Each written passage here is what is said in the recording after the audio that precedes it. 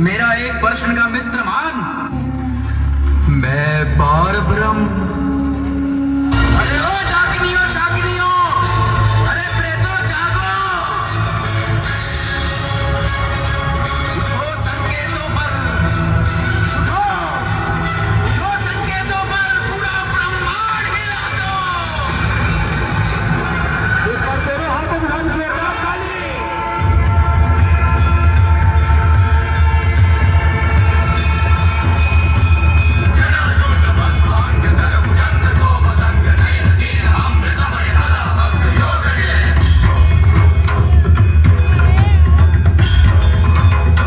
अभिशांता प्रस्तुति महादेव का दंड सती के वियोग में।